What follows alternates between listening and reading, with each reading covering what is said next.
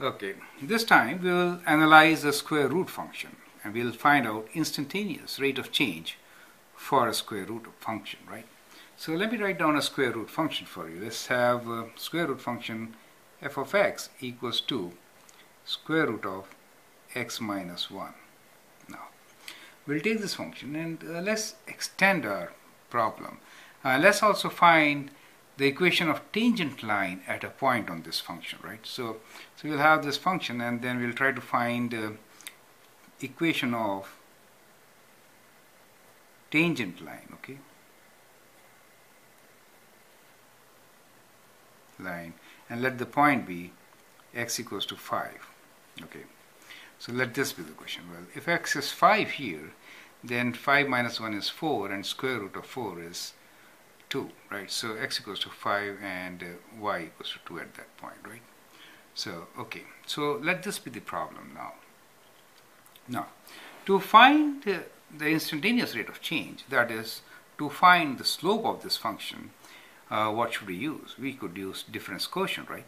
And since we need to find equation of tangent line at a point x equals to 5, let's find the slope or the instantaneous rate of change of this function at 5 okay? So so let's call this instantaneous rate of change as uh, this right? Which will be as good as saying slope is it okay? So it is the slope of this function right? At 0.5 that means f of 5 plus h minus f of 5 over h should be my slope or the instantaneous rate of change so as you see, I, have been using the symbol for instantaneous rate of change, okay? So instantaneous rate of change will also give me slope of the tangent line at this point, and therefore I'm using both the symbols here, okay? Where, what is h? Where h is approaching zero, right? h is approaching zero, and sometimes we also write where h is very, very less as compared to one. Uh, at times, we can straight away find uh, the instantaneous rate of change here by plugging a value of h as 0.001, right? So in that case, we can solve it by putting a fixed value.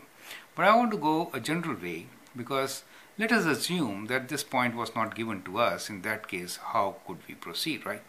So the method will be same. Now I've already put the value. So anyway, you'll understand what I'm trying to say.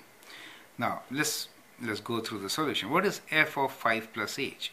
Where the function is square root of x minus 1. So what do we do? We replace this x with 5 plus h, right? So we get 5 plus h minus 1. Is it okay? For this. Minus f of 5. f of 5 is the value of function at 5 and we know f of 5 is 2. How do we get it? 5 minus 1 is 4 and square root of 4 is 2. So we can straight away write 2 here, right?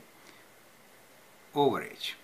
So that becomes our instantaneous rate of change. Now whenever you have a square root like this, then what should you do to solve it? Well, to solve such a thing, we need to rationalize it. I hope you remember what is rationalization. Rationalization is like using uh, product of sum and difference gives you difference of squares.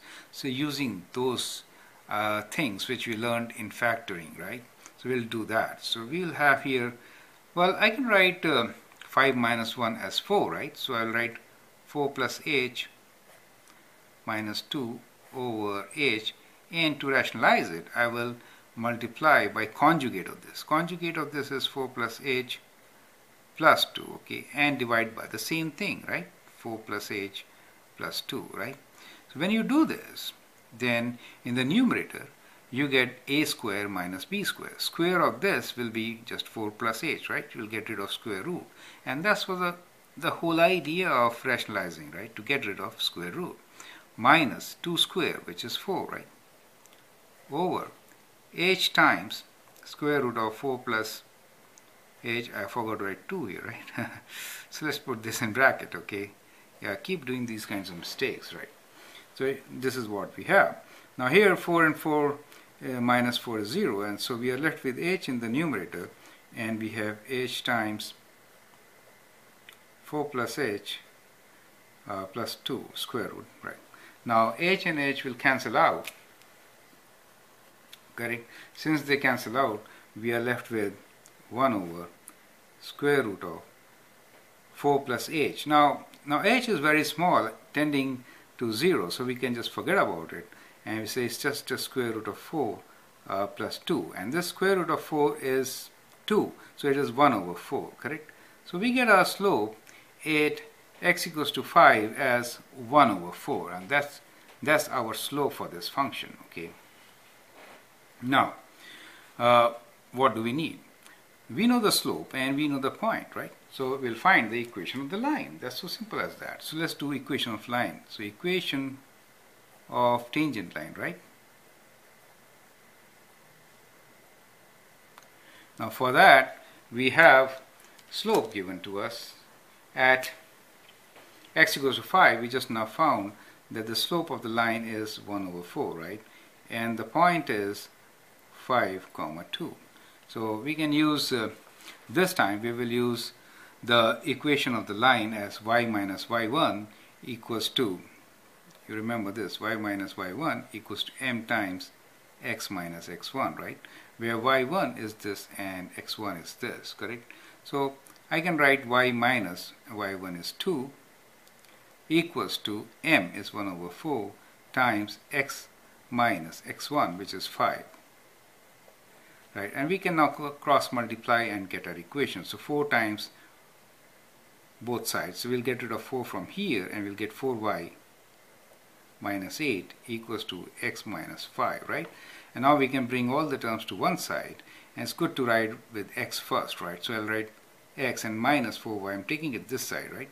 Minus 4y and when I take minus 8 there it becomes plus 8 so you get plus 3 equals to 0 so that is my equation of line in standard form.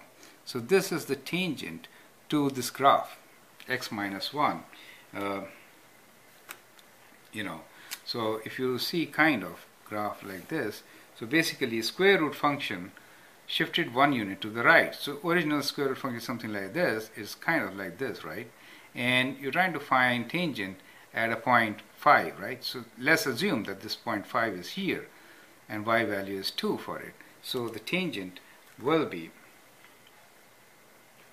something like, okay, if I write it in the intercept form, I get 3 as my, 3 over 4 as my y-intercept, okay?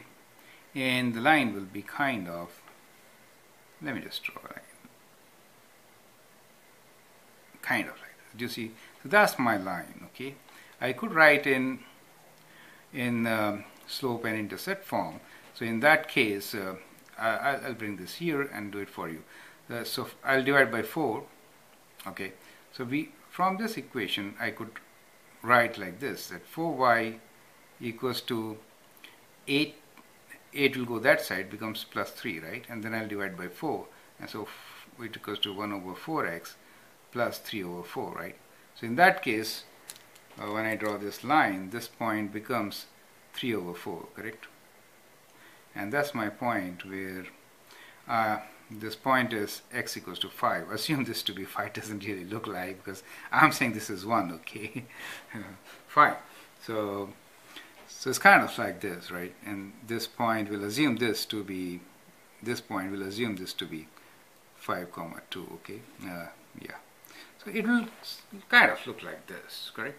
Yes, not to the scale, but kind of gives you an idea of how it should be looking like.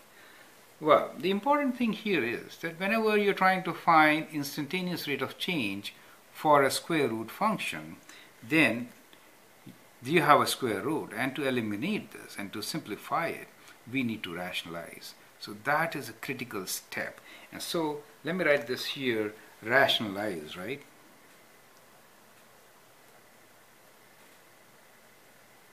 So this is a very, very critical step. And then once you do rationalization, you remember what? Here we use this property that uh, I should not, anyway, x plus y times x minus y. Product of sum and difference gives you difference of squares, right? So we use this property when we expand it and so then it was possible for us to simplify it further and get our answer. So these are critical things which you remember.